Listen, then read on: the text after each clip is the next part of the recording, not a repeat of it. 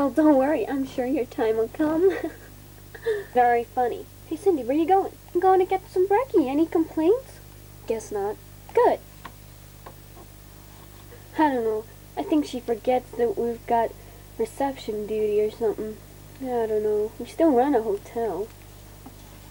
Hi, guys. How's it going? Oh, nearly tripped on the carpet. Hi, I'm fine. How are you, Cindy? Me? I'm just great. Did you see my picture in the magazine? Oh, I forgot to bring it up. Oh, oh well. I'll go and get it, shall I? Won't be necessary, Cindy. We've already seen it today. I can't believe we've seen it before you. Really? Yeah, I think it looks kind of like me, don't you think? If you say so. Well, it does. Barbie, has there been any calls for me lately? Nope, none that I know of. Um, just check the book here. Uh, nope, none that I know. Oh, that's okay. I was kind of hoping, oh, I don't know.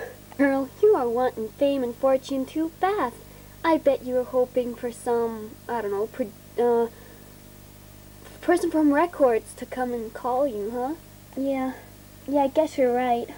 I should stop acting like in the next hour I'm gonna be famous and make a million. Do you know the worst thing? I don't want to spend a career singing. I want acting. Why can I get acting? well, I guess you can't have all you want in life, huh? No, you can't. Just like the time I failed my driving test 23 times. Ah, no kidding. Don't worry, Cindy. Your time will come. Just give it time. Yeah, but to be an actress, meet all those movie stars. Thank you.